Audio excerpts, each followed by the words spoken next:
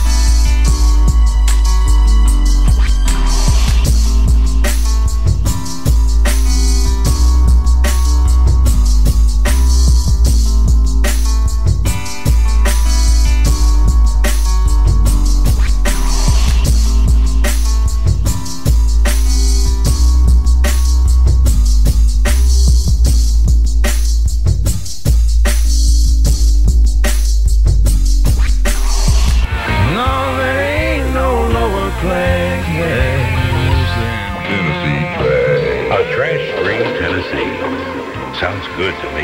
If you did a musical, you could do anything. Just immediately felt that it was going to work on its own.